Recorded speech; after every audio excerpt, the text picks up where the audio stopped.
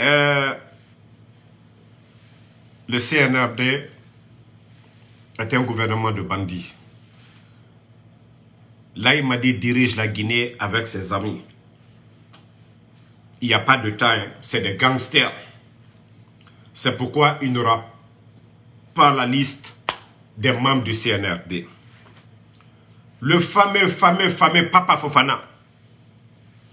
Le fameux Papa Fofana. Vous entendez toujours Papa Fofana, son argentier, Papa Fofana. Ceux qui sont à Conakry, ils savent c'est qui, Papa Fofana. Là, il m'a dit, je vous ai dit, ils sont fauchés, il n'y a pas d'argent. Il a dépêché Papa Fofana pour aller dans les pays arabes, en Arabie Saoudite, Émirats Arabes Unis. Ils ont besoin d'argent pour que les gens puissent les faire confiance. La famille, vous savez ce qui est choquant dans ça? Papa Fofana n'est ni ministre, ministre des Affaires étrangères, rien du tout. Mais là, il m'a dit parce que c'est son ami, c'est son collaborateur, je vais même dire c'est son grand. Ils sont en train de gérer le pays comme une entreprise, une entreprise privée.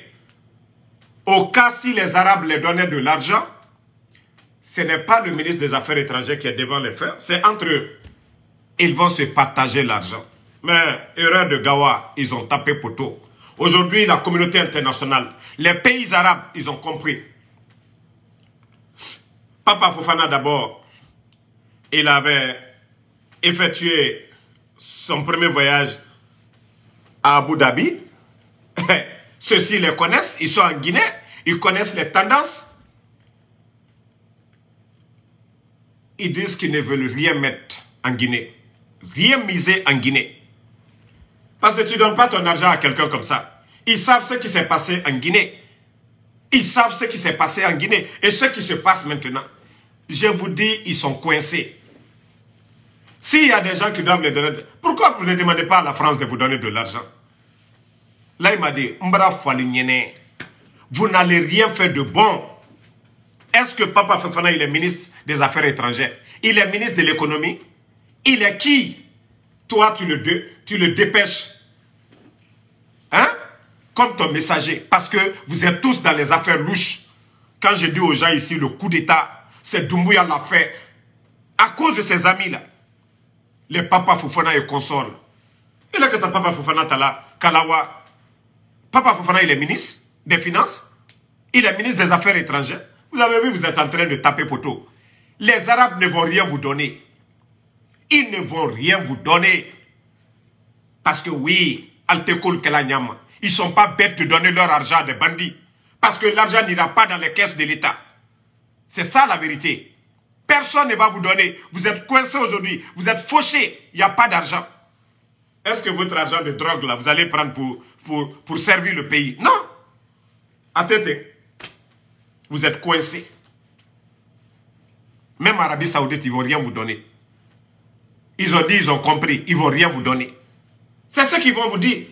Ils ont dit qu'ils ont compris, ils ne vont rien vous donner. Là, il m'a dit. Partagez dans tous les groupes. Nagaobe, Kobri Yomuna, Bandie Namalang. Eux, ils pensent que non, ils sont intelligents que les Guinéens. Il faut envoyer ses amis. Quand on donne de l'argent comme ça, c'est fini. Ils vont se partager. Vous pensez que le monde, les gens sont bêtes? Si c'est pour aider les Guinéens, ils savent que vous, les bandits, là, vous n'allez pas donner de l'argent aux Guinéens. C'est pour bouffer l'argent entre vous. Et c'est pourquoi aujourd'hui, votre voyage, le voyage de papa Fofana, c'est du fiasco pour Laïmadi. C'est du fiasco. Laïmadi. Il a que tu es intelligent. Regarde ton gouvernement. Des tocards. Papa Fofana, il a été qui non, c'est un messager. Personne. Tu penses que les gens ne sont pas au courant de Papa Fofana? Tu penses que les, les, Arabes, là, ils sont amis avec les Américains? Ils sont amis avec les Américains. Tes amis bandits là qui se trouvent dans ton gouvernement, tu penses que les gens là, ils ne savent pas c'est qui, ceux qui sont autour de toi? Là, il m'a dit. Les Hollandais savent qui toi tu es. Les Papa Fofana et consorts les Ahmed Durak. Les Américains savent c'est qui. Les Arabes, leur premier partenaire, c'est les Américains. Donc tes gars que tu envoies là-bas, là, il faut leur dire de venir ici aux États-Unis aussi. L'Amérique est riche aussi. Pourquoi ils ne viennent pas ici aux États-Unis? Tu vas, tu vas ramasser des bandits, tu fais le coup d'État pour sauver les bandits. Et maintenant, tu te, tu te sers encore des mêmes bandits. Tu te sers des mêmes bandits pour aller chercher l'argent au nom de la Guinée. Tu penses que les Arabes sont bêtes? Ils vont donner l'argent? Toi, tu penses que les Arabes vont prendre comme ça? Oui, ils vont vous donner? Ils voient ce qui se passe. Ils ont des représentants en Guinée. Ils ont des services de renseignement. Ils collaborent avec les Américains. Ils ne vont rien vous donner. Vous vous fatiguez, le CNRD là, c'est fini.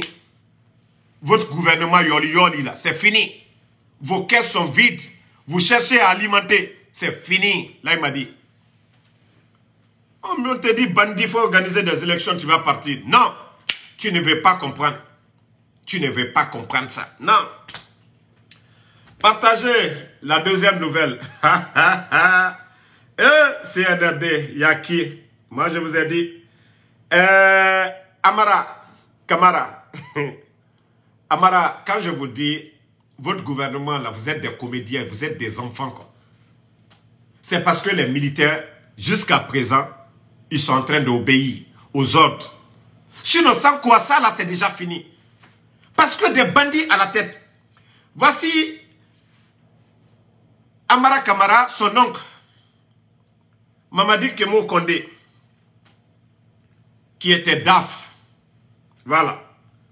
Lui aussi, il sait qu'actuellement, la liste qui a été donnée là, Charles Wright, presque les 200 anciens dignitaires là, le nom de l'oncle de Amara, Kemo Kondé, aujourd'hui qui est quelque part au Maroc, tout a été planifié par Amara pour faire sortir son oncle. Son oncle a été remplacé la semaine passée là, par quelqu'un d'autre comme un DAF. C'est que quand c'est leur proche là, il n'y a pas de problème. Ils, font tout pour le faire sortir. Quand ils veulent taper sur les autres. Et après on nous dit à la justice, Kemo, Kemo Kondé qui est l'oncle de Amara, Amara s'arrange à faire tout pour le faire sortir. Il est cité dans dans les 100 et quelques personnes, les 188 personnes, dont Charles Wright a lancé des poursuites. Moi, je vous dis, ces gens-là, c'est du cinéma. Je vous dis, c'est du cinéma. Hum. Et Allah, voilà, vous allez me respecter ici encore. Moi, je suis en, le CNRD, je suis en train de rire. Hein. Je suis en train de rire du CNRD. Je suis en train de rire du CNRD on va vous montrer les bandits là. Qu'est-ce que les bandits là font? Vous allez comprendre. Parce que nous, c'est de... Ils ne vont pas nous parler de corruption. Eux-mêmes, ils sont corrompus.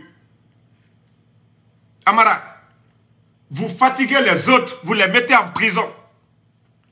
Mais toi, ton oncle parce que tu sais, la liste allait sortir, tu fais partie ton oncle au Maroc, qui est qui était DAF. Et vous êtes en train de faire souffrir les autres. Vous pensez que les... c'est comme les grands qui sont sortis là. Il y a de ces boss qui sont sortis. Vous avez tout fait pour les faire sortir. Moi, je ne suis pas contre les anciens du RPG là. Je ne suis pas contre quelqu'un, mais l'injustice des bandits là. Favoriser les uns contre les autres, non. C'est ça qui me fait mal. Quand on vous dit leur problème, c'est les politiques, parce qu'ils ne veulent pas partir. Si le CNRD voulait partir, le docteur Kassori, le docteur Diane, l'honorable Ahmad Damaro, Monsieur Oye Gilavogui, le, grand Ibrahim Kourouma, ne serait pas en prison aujourd'hui. Tout, c'est qu'ils ne veulent pas partir. Ils veulent anéantir tout le monde. Comment toi tu vas laisser ton nom sortir, Amara Une semaine après, vous le remplacez. Paf Le document, ça sort. Quelle coïncidence Quelle coïncidence Amara. Et quand j'entends des gens de Koudanga, Dendol, connaît, connaît, connaît Amara supporter. Moi, de supporter Amara, des malhonnêtes comme ça aujourd'hui, qui sont devenus riches aujourd'hui. Amara aujourd'hui, les Chinois qui viennent en Guinée, les Indiens qui viennent en Guinée pour voir Naïmadi, il est secrétaire à la présidence. Tant que tu ne lui donnes pas 500 000 dollars, tu ne vois pas Laïmadi. Et il essaie de convaincre Laïmadi pour lui donner des contrats. Lui, il s'est fait 500 000 dollars. Juste il négocie avec ces gens-là, les hommes d'affaires, pour aller voir là, il. Des gens comme ça, là, nous, nous allons les faire confiance. Quand ils sont là à gueuler, oui, moralisation de la chose publique, ils sont pourris. Des pervers comme ça. Vous allez nous dire quoi? C'est vous qui allez bien faire dans ce pays-là Vous aviez quoi? Vous avez quelle connaissance? Venez vous arrêter devant les gens. Eh non, moralisation, moralisation. Juste pour embrouiller les gens. Vous êtes pourris. Partout où il y a l'argent, vous êtes là-bas. Vous ne faites rien de normal. Et après, c'est pour se flanquer devant nous, Ngaye, la Guinée, nous, refondation. Vous êtes incapable aujourd'hui d'aider les Guinéens, à part la souffrance. Votre ami n'est pas aujourd'hui en train de chercher mendier. Papa Fofana n'est pas aujourd'hui euh, vers les pays arabes aujourd'hui. Vous pensez que les gens vont vous donner de l'argent? Vous pensez que les gens vont vous donner de l'argent? Vos bêtises que vous faites là, vous pensez qu'on va rester là, vous, vous regardez? Non seulement on attend les hommes, les soldats. Voilà. Et il y a un sujet, je vais toucher aussi. Partagez. Vous avez vu, quand vous remarquez, moi, Damaro, je n'aime pas commenter l'affaire de 28 septembre. Parce que quand tu regardes, les victimes, c'est nos parents de l'Europe, euh, de, je dis plutôt, euh, c'est nos parents du Fouta. Les accusés, la majorité aussi, 90%, c'est nos parents de la forêt. Quand tu regardes aujourd'hui les débats, tu regardes les commentaires, vous sentez que la Guinée est déchirée. C'est comme ça que je vais dire. Nos, parents, nos parents de la forêt soutiennent leurs parents. Nos parents du Fouta soutiennent aussi leurs parents. Et ça, c'est dangereux pour un pays les gens ne se sont pas posé la question pourquoi on évitait, on évitait, on évitait, on évitait ce procès. Pour beaucoup de choses. Voilà. Donc, les bandits ont profité de cela, nous distraire et encore nous diviser de plus. On a vu des avocats dire ici, quand Toumba a dit patois, ils ont interprété ça, l'avocat a voulu interpréter. Mais ça, ce n'est même pas l'objectif de la présence de Toumba dans le procès. Patois, on nous a défini. Vous pouvez aller sur Google, vous allez taper, vous allez voir la définition. Il n'y y a rien de mauvais dedans, le mot patois. Mais on a vu l'avocat dire Toumba s'est attaqué à toute une communauté. Tandis que l'avocat même de Toumba est forestier. Celui même qui souvent rappelle Toumba a dit certaines choses est forestier. Mais l'avocat, l'autre avocat, il n'a pas réfléchi deux fois. Il a tenu ses propos communautaires, à diviser encore. Ce qui me pousse à toucher, parce que moi j'ai dit, si je ne peux pas rassembler, je ne vais pas chercher à diviser. Je commence à voir certains qui se disent blogueurs, mais plutôt bêtes. Je ne vais pas dire son nom, vous voyez, ils ont déjà fait euh, des t-shirts pour dire soldats de ma culture, fiers de mon patois. Parce que ces gens-là, ils n'ont rien. Les mêmes jeunes, je ne dis pas leur nom, l'affaire de Zogotai à Zérekouré, les communautés, ça c'est arrivé. Ce n'était pas au temps du procès Alpha Condé. Depuis longtemps, nos parents forestiers, moi qui vous parle, ma maman, ma grand-mère vient de Ziaman la mère de mon papa. Donc, ces communautés-là vivent ensemble. Mais souvent, il y a des petits conflits d'intérêts. Il y a des petits conflits d'intérêts. Zogotai, Konyanke, Gerze, chaque fois, mais ils trouvent des solutions, ils vivent ensemble. On a vu des jeunes qu'on a instrumentalisés. L'arrivée du CNRD, ils les ont donné de l'argent on les a tous vus en forêt. Ils ont pris les jeunes influents, musiciens, tout de la forêt. Commémoration de Zogotai. Moi, j'ai critiqué ça. Je n'ai pas essayé de trop rentrer dedans. J'ai dit des gens qui veulent la paix. Ils veulent unifier. C'est-à-dire, unir les Guinéens. C'est d'appeler toutes les communautés. Konyanke, Gerze, Thomas, Pelé, de la forêt. Pour dire plus jamais ça. Mais ils n'ont donné l'argent. Ils n'ont poussé qu'un groupe allait devant les autres pour dire plus jamais ça, plus jamais de Zogotai, c'est rentré, c'est sorti. C'était les mêmes jeunes qui étaient là à parler de ça. Aller pousser nos parents de la forêt. Les mêmes jeunes. Qu'est-ce quelle nouvelle qu'on n'a pas donnée ici? Avant l'arrivée de Dadis, j'avais toutes les informations. Et les mêmes personnes, ils sont allés convaincre Maître Pépé. Et Maître Pépé même, les jeunes qui étaient en forêt, Maître Pépé était dedans. L'avocat de Dadis là. Ceux qui étaient en forêt pour aller encore amandouer nos parents de la forêt, à supporter le CNRD. Ils étaient tous dedans. Mais je n'ai pas voulu trop m'azarder là-dessus, parce que c'est un sujet, quand j'essaie de faire comme eux, ils vont dire, voilà, voyez, ils sont communautaires, c'est rentré. Ils sont allés convaincre Dadis. Dix mille fois là-bas. Dadis, il faut venir, c'est les organisateurs des manifestations. On a entendu les, Moriba, les Bogola Abba dire cela ici, que c'est les organisateurs des manifestations qu'ils vont arrêter. Tout ça pour convaincre Dadis. Vous avez vu Dadis quand il est venu. Deuxième jour, il a dit il a été trahi. C'est ça. C'est les mêmes personnes. Aujourd'hui, ils voient le procès. Dadis est venu en Guinée. Même l'accorder le respect de l'ancien président, ils ne l'ont pas fait. Mais comme ces personnes-là ne pensent qu'à l'argent que le CNRD les donne, ils ont du mal aujourd'hui à parler. Ils ont du mal à parler. Et c'est ces mêmes personnes aujourd'hui, communautaires aujourd'hui, qui sont là en train de parler de l'affaire toi, Ils ont sorti des t-shirts, toujours pour chercher à diviser des Guinéens, pour dire c'est rentré, c'est sorti. L'avocat de Toumba est forestier. La Guinée appartient à tous les Guinéens. Arrêtez de polémiquer sur des sujets bidons. Nous sommes condamnés à vivre ensemble. Nous sommes des Guinéens. Si vous ne pouvez pas favoriser le nationalisme, c'est-à-dire fermez la maintenant. Fermez vos bouches. Vous, vous n'aimez pas Dadis. Lorsque moi, Damaro, je disais ici, Dadis ne n'est pas rentré parce qu'ils vont t'humilier. Ou ils n'ont pas laissé le procès Fakonde, ils ne vont pas laisser Dadis. C'est encore les mêmes communautaires, au temps du procès Fakonde, qui étaient là en train de dire, c'est le professeur qui fait que Dadis ne vient pas. Ah ouais, Dadis est venu. Parlez maintenant. Ce n'est pas vous qui êtes là en train de dire, c'est le professeur qui est contre Dadis, c'est lui qui est en train de faire tout. La maman de Dadis est décédée. Dadis, c'est comment il est venu? Dadis était au Burkina. Il sait ce que le gouvernement du professeur faisait pour lui. Mais c'était encore vous, les catalyseurs, vous qui vous dites des communicants de la forêt, des manipulateurs, vous qui ne pensez qu'à votre intérêt personnel. C'est encore vous qui étiez là en train de manipuler. Il y avait combien de jeunes forestiers dans le gouvernement? Le dernier gouvernement du professeur Fakonde, allez-y regarder le nom des ministres à l'Assemblée. Vous allez dire que le professeur était contre vous À un moment donné, arrêtez d'être des catalyseurs, de manipuler les Guinéens. Arrêtez de manipuler.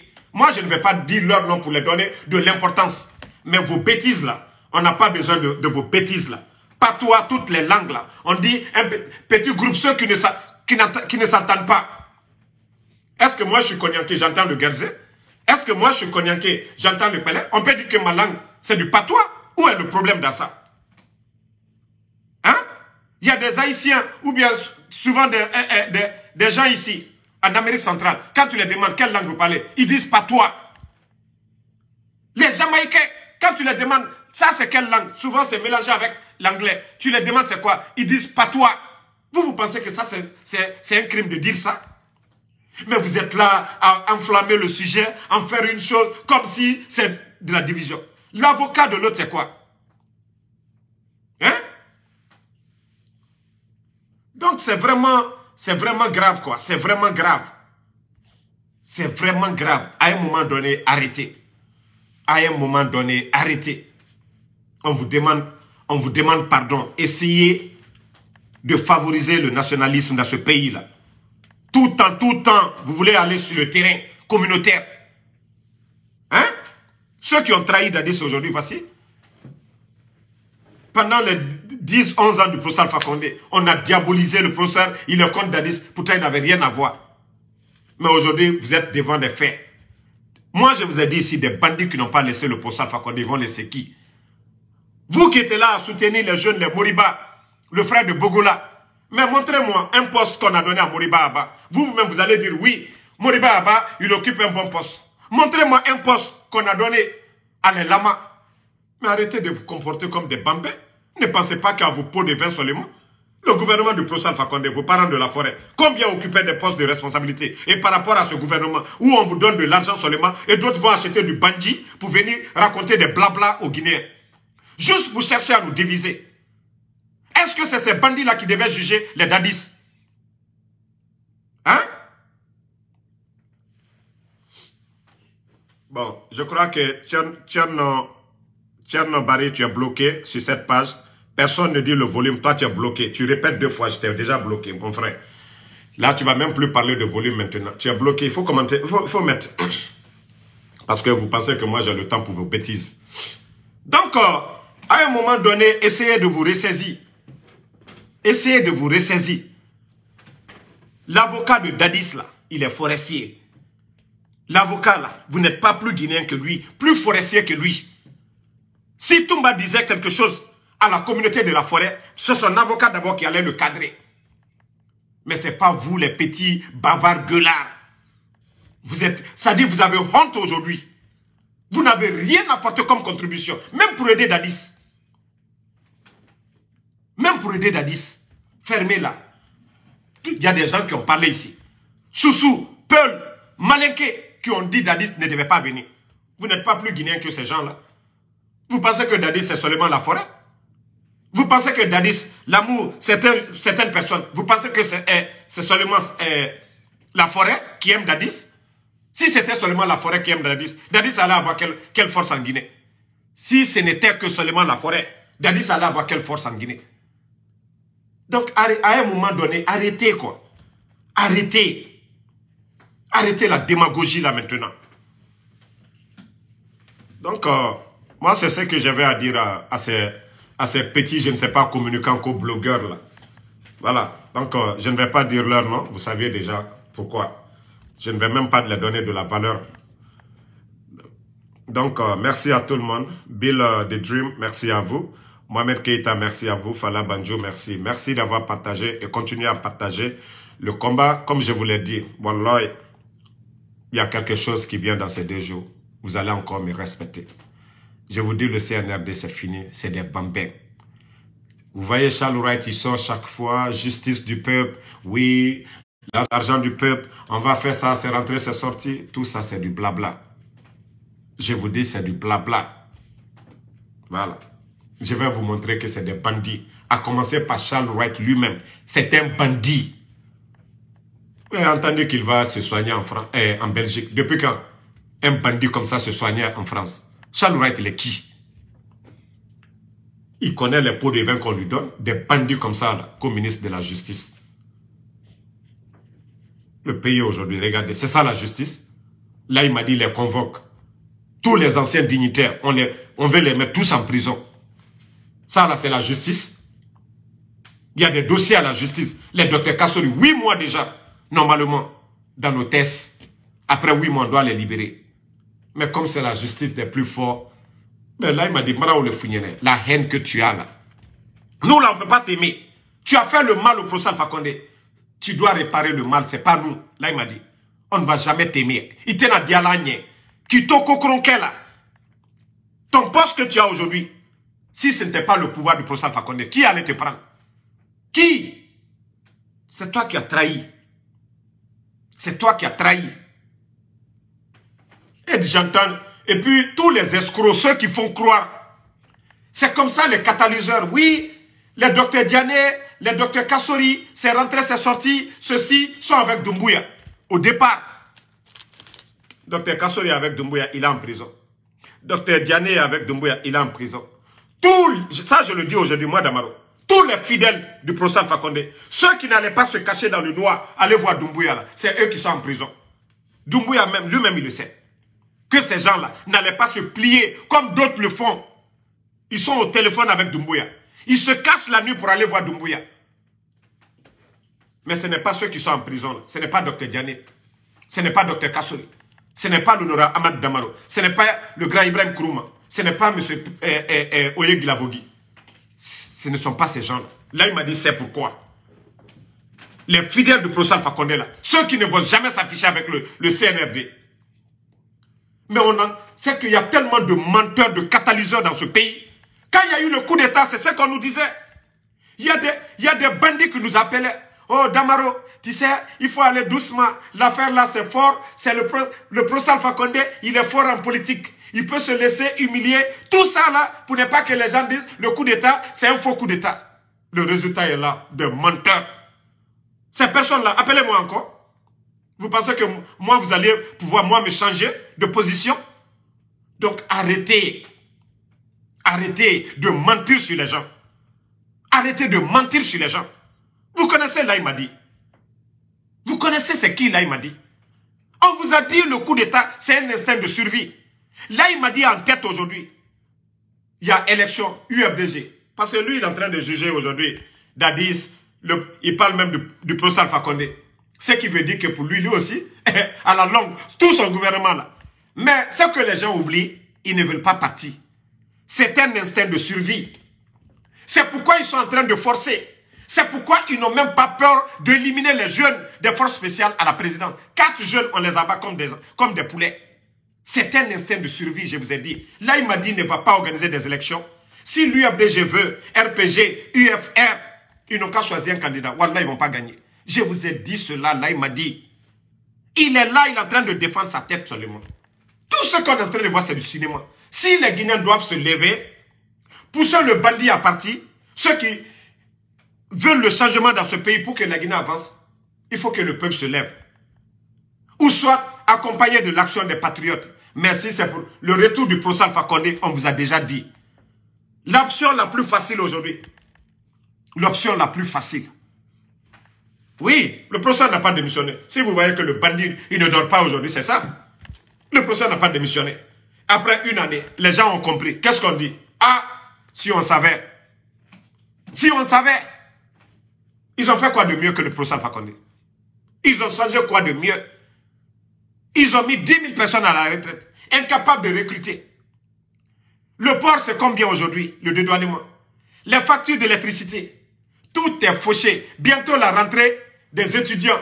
Ils ont de l'argent à dépasser. Comment ils vont recruter? Je vous dis,